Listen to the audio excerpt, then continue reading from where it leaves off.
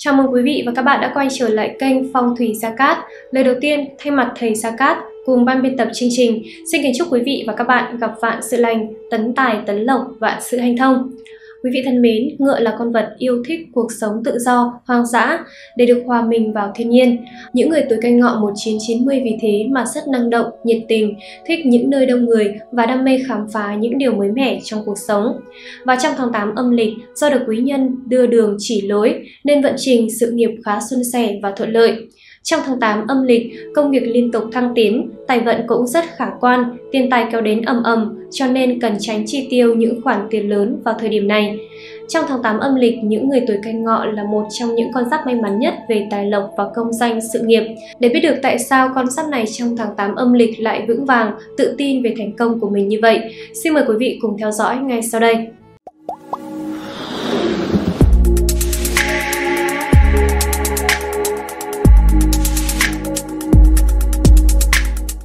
Sau đây là phần tổng quan của các gia chủ tuổi canh ngọ sinh năm 1990 trong tháng 8 âm lịch năm 2022.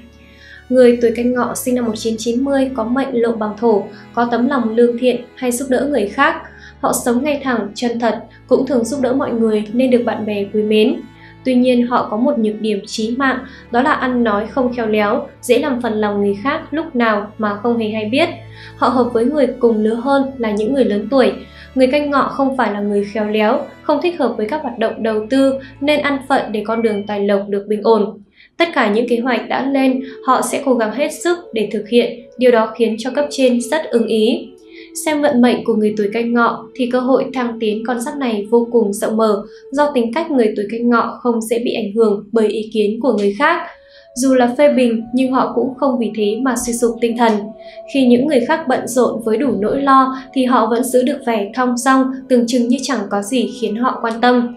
Kỳ thực họ là người biết mình muốn gì, họ chỉ quan tâm đến việc đạt được mục đích, còn những việc khác hoàn toàn không phải là thứ họ bận tâm. Sự nghiệp của người nghệ sự nghiệp của người canh ngọ tháng này khá ổn, trong quá trình làm việc, ít nhiều gì bạn cũng sẽ gặp không ít trở ngại và mắc sai lầm. Miễn là bạn có thể chịu được áp lực thì các vấn đề sẽ được giải quyết và bạn vẫn có thể đạt được kết quả tốt. Sức khỏe nữ canh ngọ tháng này ảm đạm, bạn cũng nên đề phòng bệnh cũ tái phát. Ngoài ra, nữ canh ngọ phải tuyệt đối chú ý cẩn thận đi lại và xe cộ vì rất dễ xảy ra tai nạn. Tình cảm tháng này không được suôn sẻ, vợ chồng luôn có sự phiền muộn và không tìm được tiếng nói chung. Đối với người chưa có gia đình, đây là một tháng bất lợi cho bạn nếu tiến tới hôn nhân. Xét về thiên can, canh dương kim gặp kỷ âm thổ nên gọi là thương quan, nghĩa là bản thân bị khắc chế. Đối với các gia chủ tuổi canh ngọ trong tháng này, cần cẩn trọng hết sức các mối quan hệ xung quanh mình, tránh vì những mâu thuẫn nhỏ mà xảy ra xung đột không đáng có. Khi gặp phải vấn đề cần giữ bình tĩnh để đưa ra phương án hợp lý, để tránh gặp phải những thị phi không cần thiết và làm phần lòng những người xung quanh mình. Thứ nhất về sự nghiệp quan vận, tuổi canh ngọ trong tháng 8 này vận trình sự nghiệp biến động khá lớn, bản mệnh gặp nhiều khó khăn trong việc tập trung làm việc, phải chịu nhiều áp lực từ phía cấp trên. Chẳng những vậy, sự cứng nhắc, không linh hoạt trong giải quyết vấn đề của con giáp này còn có thể khiến cho đối tác hay đồng nghiệp mất lòng, vì thế mà không thể phối hợp làm việc cho tốt, hiệu quả công việc giảm sút rõ rệt. Chính vì vậy, mà dù thành Chính vì vậy, dù dành nhiều thời gian cho công việc, con giáp này cũng vẫn chẳng có được mục tiêu mình mong muốn, con đường công danh sự nghiệp mịt mù.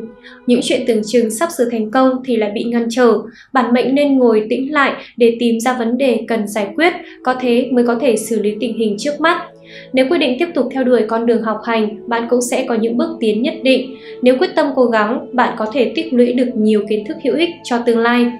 Năm nhâm dần 2022, Thái Tuế là hạ ngạc đại tướng quân, dưới chân của đại tướng quân có một con hổ. Để cho vận trình sức khỏe và gia đạo được hanh thông thuận lợi, thầy Gia Cát khuyên gia chủ hãy luôn mang theo bên mình một kim bài Thái Tuế để nghênh đón Thái Tuế, mang lại may mắn và bình an. Đặc biệt, kim bài thái tuế của phong thủy lộc tài được thầy Gia Cát trực tiếp khai quang, chỉ chú và xem ngày sử dụng cho gia chủ tuổi canh ngọ để mang lại tác dụng phong thủy tốt nhất hiện nay.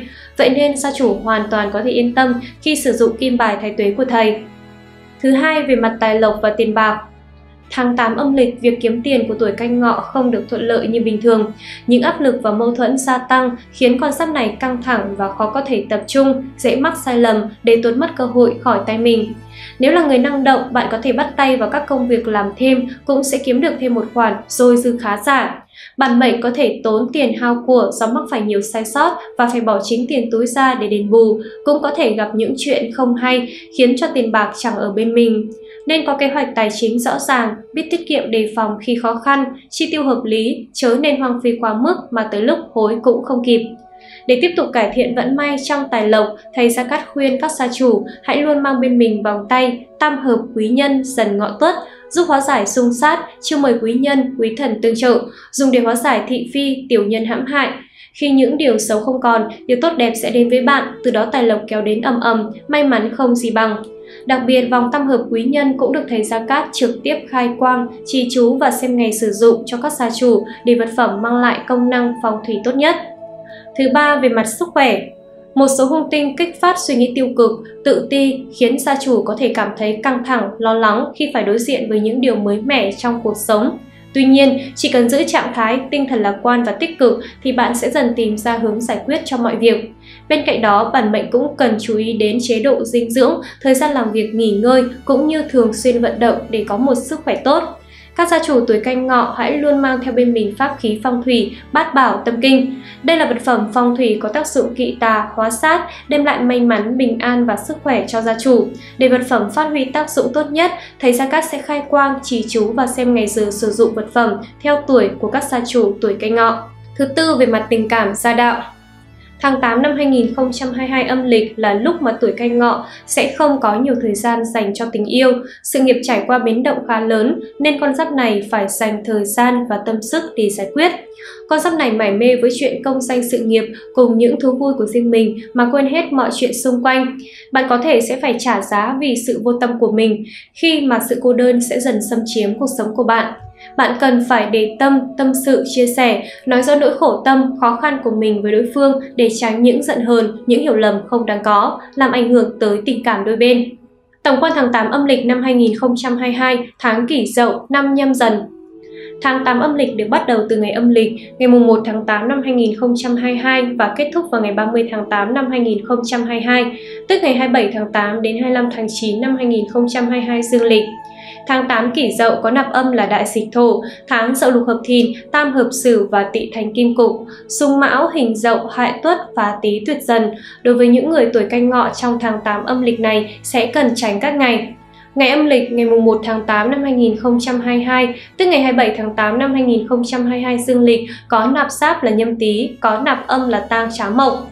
Ngày âm lịch ngày 13 tháng 8 năm 2022, tức mùng 8 tháng 9 năm 2022 dương lịch có nạp sáp là giáp tý, có nạp âm là hại trung kim. Ngày âm lịch ngày 25 tháng 8 năm 2022, tức 20 tháng 9 năm 2022 dương lịch có nạp sát là bính tý, có nạp âm là giản hạ thủy. Đây là 3 ngày không được cát lành khi tính theo tuổi của các mệnh chủ tuổi canh ngọ. Trong những ngày này, mệnh chủ cần phải hết sức chú ý, tốt nhất không nên thực hiện những công việc quan trọng. Lời khuyên từ các chuyên gia phong thủy cho bản mệnh là nên chú ý tới sức khỏe nhiều hơn, chi tiêu tiền của vào những việc cần thiết và không nên vung tay quá chán. Các ngày tốt đối với người tuổi canh ngọ trong tháng 8 âm lịch năm nhâm dần 2022 Ngày âm lịch ngày 8 tháng 8 năm 2022, tức mùng 3 tháng 9 năm 2022 dương lịch, có nạp giáp là kỷ mùi, có nạp âm là thiên thượng hỏa. Ngày âm lịch ngày 20 tháng 8 năm 2022, tức ngày 15 tháng 9 năm 2022 dương lịch, có nạp giáp là tân mùi, có nạp âm là lộ bằng thổ. Đây là hai ngày cắt lành trong tháng để các gia chủ tiến hành các công việc liên quan đến xuất hành hay tiến hành những công việc quan trọng sẽ dễ có kết quả cao, hoặc những vấn đề nhỏ trong gia đình bạn tiến hành đều hết sức thuận lợi. Ngoài ra, việc lựa chọn ngày tốt cần phù hợp với tuổi gia chủ trong những công việc như tiến hành động thổ, ngày giờ mua xe mới, ngày giờ cưới hỏi. Để chọn được ngày giờ đẹp, phù long tương chủ, ngày giờ tài lộc của gia chủ, anh chị và các bạn hãy để lại thông tin dưới phần bình luận theo mẫu họ tên cộng ngày tháng năm sinh, cộng số điện thoại hoặc anh chị có thể liên hệ trực tiếp tới số hotline hiển thị trên màn hình để được tư vấn hoàn toàn miễn phí. Quý vị thân mến, dù khó khăn vất vả đến đâu thì mình cũng cần phải vững tin vào cuộc sống. Số phận trời sinh mỗi người mỗi khác, ai cũng có sứ mệnh của riêng mình. Hy vọng thông qua việc luận giải tử vi của tuổi canh ngọ 1990 trong tháng 8 âm lịch sẽ giúp đỡ được quý vị phần nào trong cuộc sống, có những bước đi vững chắc và thành công hơn. Rất cảm ơn quý vị đã theo dõi chương trình. Quý vị đừng quên bấm vào nút đăng ký kênh và chuông thông báo để ủng hộ chương trình nhé. Còn bây giờ, thời lượng của chương trình đã hết. Xin chào và hẹn gặp lại quý vị ở những video tiếp theo của chương trình.